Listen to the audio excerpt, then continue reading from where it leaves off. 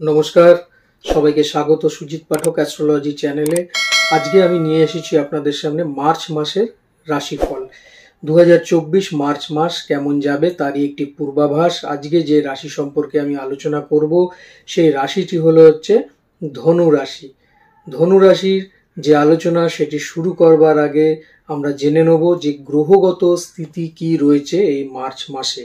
March মাসে বৃহস্পতি যথারীতি থাকছে, মেষ রাশিতে কেতু থাকছে, কন্যা রাশিতে এবং মঙ্গল ও শুক্র থাকছে মকর রাশিতে, শনি, রবি ও বুধ থাকছে কুম্ভ রাশিতে এবং রাহু থাকছে মীন রাশিতে।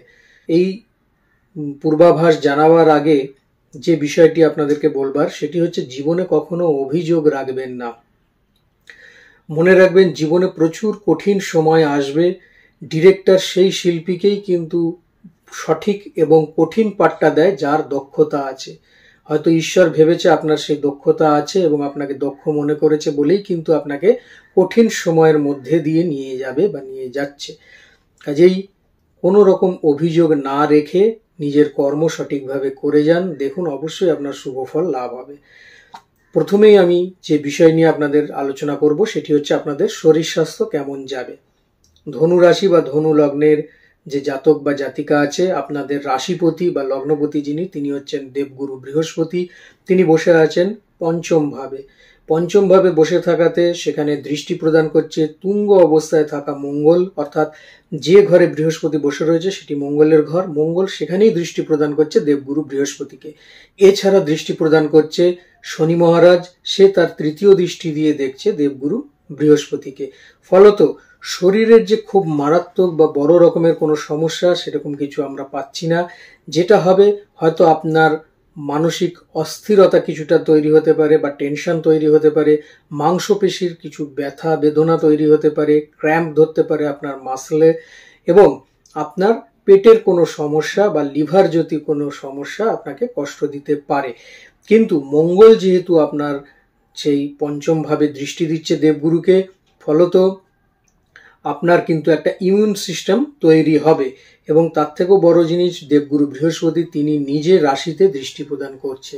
ফলে আপনার শরীরের যে ইমিউনিটি পাওয়ার সেটা বৃদ্ধি পাবে এবং আপনি কিন্তু বড় রকম কোনো সমস্যার মধ্যে পড়বেন না। সামান্য ছোটোখাটো যে জিনিসগুলো আছে সেটা আপনি নিজের ইমিউন সিস্টেম দিয়ে আপনি রিকভারি করে নিতে পারবেন। মূলা নক্ষত্রে যদি আপনার জন্ম হয়, তাহলে পরে স্কিন জাতীয় কোনো সমস্যা এবং পেটের সমস্যা আপনাকে একটু বেশি কষ্ট দেবে। এছাড়া পূর্বসারা ও উত্তরসারা নক্ষত্রে জন্ম হলে পরে আপনি কিন্তু সঠিকভাবে এগিয়ে যেতে পারবেন, কোনো সমস্যার জায়গা নেই। চলে আসব আপনাদের শিক্ষাক্ষেত্র। কেমন থাকবে আপনাদের শিক্ষাক্ষেত্র? শিক্ষাভাব আমরা সাধারণত চতুর্থ ভাব, পঞ্চম ভাব, দুটো ভাবকে আমরা দেখি, সাথে দেখি নবম ভাব।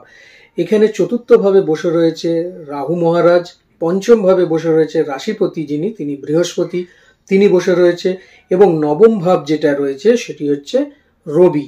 রবি বসে রয়েছে আমাদের তৃতীয় ভাবে এবং রবি মহারাজ এখান থেকে সঞ্চার করে বেরিয়ে যাবে, অর্থাৎ ট্রানজিট করবে পনেরোই মার্চ, সে পৌঁছে যাবে মীন রাশিতে, অর্থাৎ আপনার চতুর্থ ভাবে তখন কিন্তু আপনাদের পড়াশোনার জায়গায় একটু সমস্যা দেখা দিতে পারে, কেননা মঙ্গল তখন আপনার থার্ড হাউসে চলে আসবে। আদারওয়াইজ কিন্তু সেরকম ব্যাপার নেই, কিন্তু রাহু যখন রয়েছে, চতুর্থভাবে চতুর্থভাবে রাহু কি করে? সাধারণত আপনাকে বিভিন্ন রকম ইলেকট্রনিক গেজেটের মধ্যে আপনাকে নিয়ে যাবে। সেটা সম্পর্কে আপনি মনে হবে যে পড়াবাদ দিয়ে সেটাই করি এই সব বিষয়গুলো আপনার নিয়ে আসবে। কিন্তু মূলত যারা ইঞ্জিনিয়ারিং লাইনে রয়েছেন, উচ্চ বিদ্যায় যারা টেকনোলজি নিয়ে পড়াশোনা করছেন, তাদের ক্ষেত্রে কিন্তু ভালো হবে। ষোলো তারিখের পর থেকে হয়তো তাদের একটু শারীরিক সমস্যা কম বেশি দেখা দিতে পারে, কিন্তু সেরকম মারাত্মক কিছু নয়। কিন্তু যারা নিম্ন শিক্ষা অর্থাৎ মাধ্যমিক পর্যন্ত রয়েছেন, তাদের কিন্তু একটু প্রেশার থাকবে ষোলো তারিখের পর থেকে। চেষ্টা করুন, আপনাদের উদ্যমতা প্রচণ্ড বাড়বে। কেন? মঙ্গল যেহেতু থার্ড হাউসে চলে যাবে, উদ্যমতা বাড়বে। আপনারা আপনাদের বিদ্যাকে নিয়ে সঠিকভাবে এগোতে পারবেন। মূলা নক্ষত্রে যদি আপনাদের জন্ম হয়, তাহলে অলসতা আপনাকে গ্রাস করবে। সেটিকে ঝেড়ে ফেলে এগিয়ে যান। অবশ্যই সফলতা আপনি পাবেন। উত্তরসারা এবং পূর্বসারা নক্ষত্রে যারা রয়েছে, তাদের ক্ষেত্রে কিন্তু সফলতার জায়গা হান্ড্রেড পার্সেন্ট রয়েছে। আসবে আপনাদের নানা রকম সুযোগও কিন্তু আসবে পড়াশোনার ক্ষেত্রে যে যে বিষয়ে আপনি পড়াশোনা করছেন। যদি আপনি বাইরে গিয়ে পড়াশোনা করতে চান, তাহলে পরে সেই ধরনের সুযোগ আপনাদের আসবে। চলে আসব আপনাদের লাভ রিলেশন নিয়ে, কেমন থাকবে আপনাদের লাভ রিলেশন পঞ্চম ভাব হচ্ছে আমাদের রিলেশনের জায়গা, আমরা দেখি। তা পঞ্চম ভাবে অবশ্যই বসে রয়েছে আপনাদের বৃহস্পতি মহারাজ এবং সেখানে মঙ্গল। সে তুঙ্গি থেকে, তুঙ্গি অবস্থা থেকে দৃষ্টি প্রদান করছে সেই বৃহস্পতিকে। ফলত আপনাদের যে লাভ রিলেশনের জায়গা, সেটা কিন্তু বেশ ভালো পাওয়া যাচ্ছে এবং সঠিক ডিটারমিনেশন আপনাদের ভালোবাসার ক্ষেত্রে থাকবে। কিন্তু ষোলোই মার্চের পর মঙ্গল যখন তার ঘর চেঞ্জ করবে, করে যখন শনি মহারাজের সাথে মিলিত হবে কুম্ভ রাশিতে সেই সময় কিন্তু ছোটোখাটো বিষয় নিয়ে আপনাদের ভেতরে কোনো সমস্যা তৈরি হতে পারে, কোনো মিসআন্ডারস্ট্যান্ডিং তৈরি হতে পারে, অথবা আপনার যে পার্টনার থাকবে, সে আপনাকে কোনোভাবে ডমিনেট করবার চেষ্টা করবে, কিন্তু আপনি ডমিনেট হওয়ার পাত্র নয়, যার ফলে কিছু মনোমালিন্য তৈরি হতে পারে। এছাড়া বড় রকমের কিছু নয়। বিশেষত পূর্বাষাঢ়া এবং উত্তরাষাঢ়া নক্ষত্রে যদি জন্ম আপনাদের হয়, তাহলে তো আপনি ডমিনেট হবেন না। কাজেই সেই ক্ষেত্রে আপনাকে সঠিকভাবে মাথা ঠান্ডা রেখে এগোতে হবে। তাহলে পরে রিলেশনের জায়গা আরও ভালো থাকবে। যারা আমাকে পার্সোনালি দেখাতে চাইছেন, তাদের ছক বিচার করতে চাইছেন, তাহলে পরে স্ক্রিনে যাওয়া যে নাম্বারটা আছে, এই নাম্বারটা হচ্ছে অফিসিয়াল হোয়াটসঅ্যাপ নাম্বার আপনারা এই নাম্বারে হোয়াটসঅ্যাপ করে নিজেদের বার্থ ডিটেলস পাঠিয়ে দিন। তাহলে সঙ্গে সঙ্গে এখানে চলে আসবে একটি পেমেন্ট কিউআর কোড সেখানে আপনাকে ফিস পেমেন্ট করে দিতে হবে। করে দিলে পরে আমার অফিস থেকে আপনাকে টাইম প্রোভাইড করে দেওয়া হবে। তবে দুদিনের আগে কিন্তু আপনারা নাম্বার পাবেন না। পরপর যে লাইনগুলো আছে, সেই লাইন কভার করতে আপনাদের দুদিন লাগবে। আর যদি অফলাইন কেউ আমাকে দেখাতে চান, তাহলে পরে শ্যামনগরে আমাকে প্রত্যেক দিন পাবেন। সকাল দশটা থেকে একটা এবং বিকেল পাঁচটা থেকে আটটা। অবশ্যই আপনাকে হোয়াটসঅ্যাপে নাম বুকিং করে তারপরে আসতে হবে। এছাড়া আমাকে পাবেন হাওড়া অবনিমল প্রত্যেক মঙ্গলবার দুপুর একটা থেকে ছটা পর্যন্ত। চলে আসব, যদি ম্যারেজে আপনি ম্যারেজ করে নিয়েছেন, অর্থাৎ বিবাহিত জীবনে প্রবেশ করেছেন ম্যারেজ লাইফ কেমন থাকবে? ম্যারেজ ক্ষেত্র দেখতে গেলে আমাদের সপ্তম ভাব দেখতে হবে। সপ্তম ভাবের অধিপতি যিনি, তিনি হচ্ছেন বুধ। বুধ মহারাজ বসে রয়েছে আপনাদের তৃতীয় ভাবে এবং সাতই মার্চের পর বুধ কিন্তু পৌঁছে যাবে মিন রাশিতে, যেখানে তিনি নিচস্থও হবেন। তা ফলত যা দেখা যাচ্ছে যে আপনাদের বৈবাহিক জীবনে কম বেশি মনমালিন্য দেখা দিতে পারে। বুধ হচ্ছে বাণীর কারক, ভাষার কারক, ফলত কোনো না কোনো কথা যেটা আপনার পার্টনারের থেকে আপনি শুনবেন, তাতে হয়তো আপনার মন মানসিকতা খুব বদলে যেতে পারে বা আপনার খুব খারাপ লাগতে পারে সেই বিষয়ের ওপরে এই নিয়ে কম বেশি সমস্যা তৈরি হতে পারে।